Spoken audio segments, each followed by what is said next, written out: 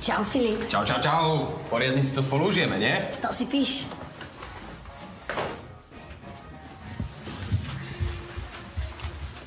Vy čo tu robíte? Zrušil som ti tú Soňu, lebo ona chce hrať stále len dievčenské hry. Na to dočas máte. Na dobré veci si nájdem čas vždy. A herná konzola patrí medzi tie najlepšie. Hm, hneď po drogách. Ale toto nebudem konzumovať. Prečo si pre Boha obľúbil práve vás? Pretože máme spoločné problémy. So zdravím. So ženami. Mňa neustále otravujú moje milenky, jeho, jeho matka. Nikto nemá väčšie problémy ako ja s vami dvoma. Najneskôr o desiatej pôjdeš spať. O desiatej? Veď zajtra je sobota. Upokoj sa, Miško, ja potom mamičke vysvetlím, že čas je relatívna veličina, ktorú každý vníma subjektívne. Nehovoriac o tom, že už môj prapradedo dokázal, že gravitácia spomaluje čas. Napríklad človek, ktorý žije na prízemí mrakodrapu, starne pomalšie ako človek, ktorý žije na najvyššom poschodí. Hovorí sa tomu dilatácia času. A dosť. Pokiaľ nebude o desiatej v posteli, dám vám pár faciek. Obom. Dvere boli otvorené. Ahoj. Ahoj. Veľmi rada ťa vidím, Milan. Tú pestonku si zohnala? No, také niečo. Ale oveľa lepšie. Moja jediná nevýhoda je, že nemôžem kojiť. Ale Miško také niečo nepotrebuje. To je... Áno, to je... Ahoj, ja som Filip. Filip je homosexuál. Nie, nie som.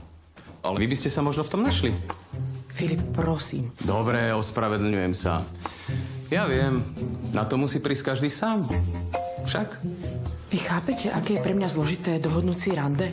Ja nemám normálnu prácu a navyše mám chorého syna.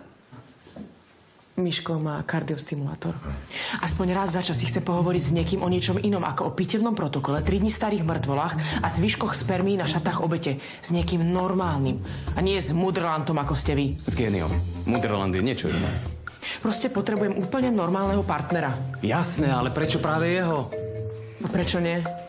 Vyzerá dobre, nie? Zaslúžite si niekoho lepšieho. Nevyzeráte až tak zle. Ďaká. Ale vy ste ten posledný, od koho si nechám radiť vo vzťahoch. Vy chcete aj tak každú ženu dostať akurát tak do postele. Tak to teda nie. Každú nie. Mám svoje zásady. Napríklad s vami som nikdy nič nemal. Ale dnes vyzeráte veľmi dobre. A uvoľnene.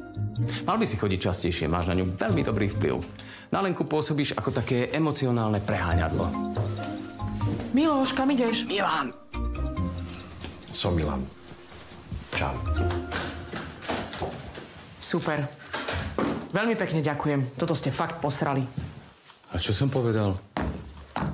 Posrali sa nehovorí. Ale dobre.